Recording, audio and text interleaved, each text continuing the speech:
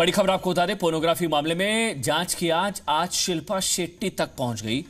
राजकुंद्रा को crime branch की team उसके घर से लेकर अपने साथ ले गई। इससे पहले आज क्राइम ब्रांच की टीम राजकुंद्रा को लेकर शिल्पा शेट्टी के घर पहुँची, जहाँ दोनों से अलग अलग छह छह घंटे तक पूछताछ हुई। सूत्रों का कहना है कि राजकुंद्रा से उनकी कंपनी से जुड़े दस्तावेजों से को लेकर बातचीत हुई, पूछताछ हुई। वहीं शिल्पा शेट्टी का भी बयान दर्ज किया गया।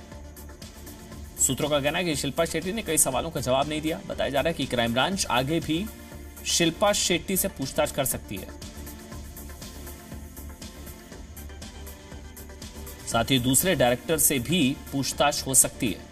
शिल्पा शेट्टी से आगे भी पूछताछ हो सकती है। ये सूत्र बता रहे हैं, आज भी पूछताछ हुई है। कई सवाल पूछे गए हैं। जाँच की आँच शिल्पा शेट्टी तक पहुँच गई है। न्यायिक हिरासत राजकुंद्रा की 27 तारीख तक बढ़ गई है। और अब शिल्पा शेट्टी से आज पूछताछ हुई है, कल भी हो सकती है। कृष्णा ठाकुर इस वक्त हमारे साथ जुड़ चुके हैं, जी मीडिया संवाददाता। कृष्णा, आगे भी हो सकती है पूछताछ?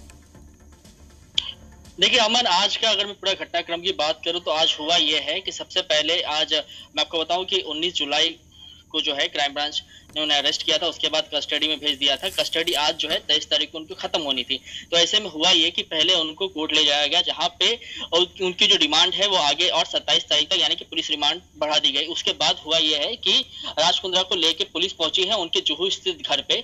जब जुहू स्थित घर पे लेके पहुँची है तो करीबन साढ़े तीन बजे का समय था जब क्राइम ब्रांच की टीम वहाँ पे पहुँची है। और मैं आपको बताऊँ कि लगातार इस बात की मांग उठ रही थी कि क्या इस केस में जो है, शिल्पा शेट्टी से भी पूछताछ की जाएगी। लगातार मुंबई पुलिस पे सवाल निशान खड़े हो रहे थे। और आज जो हमने देखा कि किस तरीके से साढ़े तीन बजे का जो समय था और पुलिस जो है वहाँ पे पहुँची है। और जो पता चल पा रहा है उसके अनुसार ये कि करीबन छह घंटे जो है पूछताछ चली है। अलग अलग पूछताछ चली है दोनों से।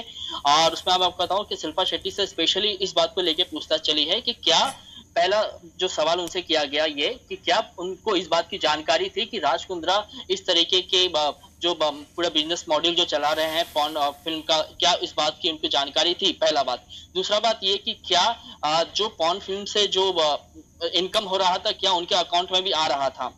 इन इन दो बातों का जो है मेन ध्यान रखा गया और साथ ही साथ जब वो बयान जिस कंपनी के अंडर जो ये पूरा रैकेट का लेन देन का पूरा प्रक्रिया चल रहा था आपको बताऊँ कि ये जो शिल्पा शेट्टी थी, वो डायरेक्टर रह चुकी थी और उन्होंने 2000 ऐसा कहा जा रहा है कि 2019 में जो है, उन्होंने इस पद से रिजाइन दे दिया था और इसे लेकर भी जो है, वो पूछताछ बिहान जिस वक्त वो डायरेक्टर के पद पे थी, इस बात को लेकर भी पूछताछ की गई है कि क्या उस समय भी इस तरीके के वीडियो प्रचलन में थे, क्या इस पूरा बिज़नेस मॉडल उस समय कैसा चल रहा था?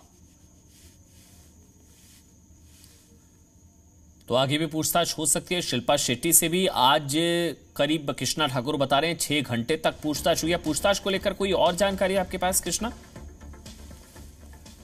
जी, पूछताछ को लेकर ये जानकारी मिल रही है कि सबसे पहले जो है जो मेन एरिया ऑफ़ इन्वेस्टिगेशन था, जो पूरा जो छह घंटा जो केंद्र है पूछताछ का, वो इसी बात पे रहा कि फाइनेंशियल ट्रांजेक्शंस को लेकर जो है पूछताछ की दूसरा बात ये कि जो हॉटस्पॉट जो हॉट हॉटशॉट नाम का जो ऐप था जिसके तहत इस पूरे काम को अंजाम दिया जा रहा था जिसपे इस जो पॉन वीडियोस को अपलोड किया जा रहा था तो सवाल सवाल इसको भी लेके था कि, कि हॉट शॉट्स को जो है लाइव लाइव स्ट्रीमिंग के लिए कहाँ कहाँ एग्रीमेंट दिया गया आईपी एड्रेस जो है वो किस तरीके से बदले गए बहुत सारे ऐसे भी जब सवाल जवाब किए गए जहाँ पे ये कहा गया कि बहुत जब पुलिस ने पहली दफ़ा कुंद्रा को कस्टडी में लिया उसके बाद जो बहुत सारे जो डाटा है वो डिलीट किया गया है और ऐसे में इन सब चीज़ों को लेकर पूछताछ हुई है। कुछ कुछ बातों पे जो है जो कहा जा रहा है कि सारे सवालों के जवाब जो है वो शिल्पा शेट्टी ने नहीं दी। शिल्पा शेट्टी बहुत सारे ऐसे सवाल थे जहाँ पे